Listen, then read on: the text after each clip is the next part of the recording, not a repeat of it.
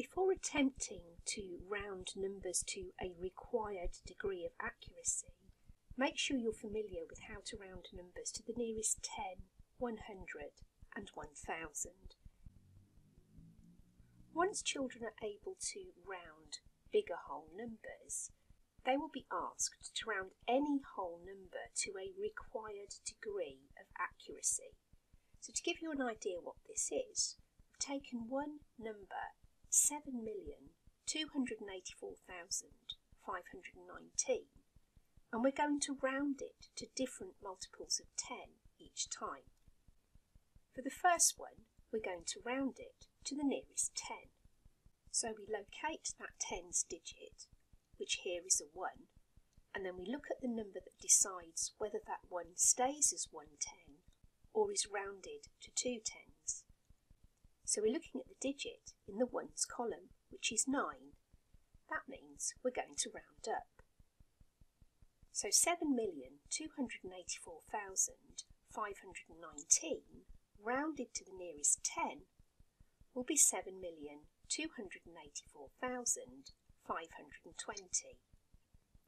Going back to the original number, we're now going to round it to the nearest hundred. We locate the number in the hundreds column, and this is where I'm going to get you to pause the video and have a go.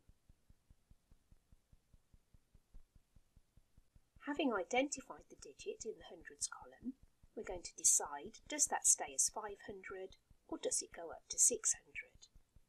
Look at the tens column, that's just a 1, which means this number will be rounded down to the nearest hundred. So when that 19 becomes 0, 0, the 500 will stay the same. 7,284,500. Back to the original number, and this time rounding to the nearest thousand. Pause the video, have a go. Locate the thousand, which is 4, the digit that will decide what happens to that 4000 represents 500, so we're going to round up. And that becomes 7,285,000. Going back to the original number, this time round to the nearest 10,000.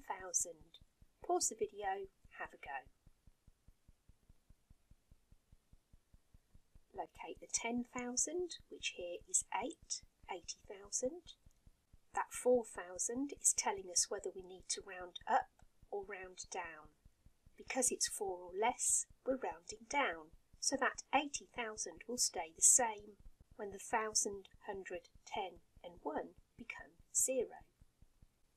7,280,000. Back to the original number.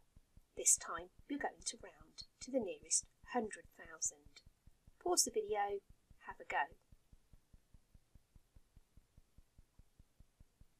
In the hundreds thousands column we have 200,000 and in the 10,000 column we have 80,000 which means we need to round up.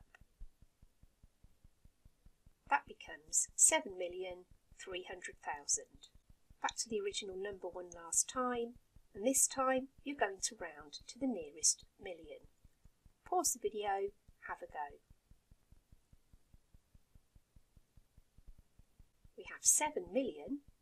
In the hundreds thousands column, we have 2, which means we're going to round down.